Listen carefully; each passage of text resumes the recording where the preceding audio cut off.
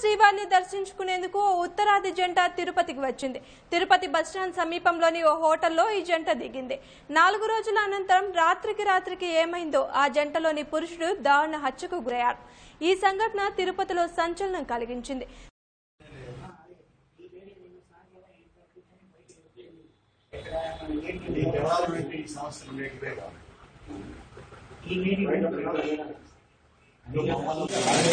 ఈ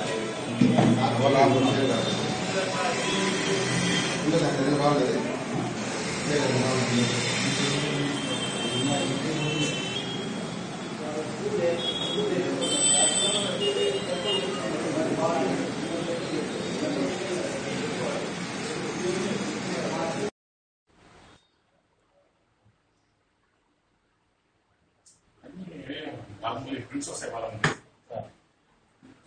போட்டு கொடுங்க. போட்டு கையில்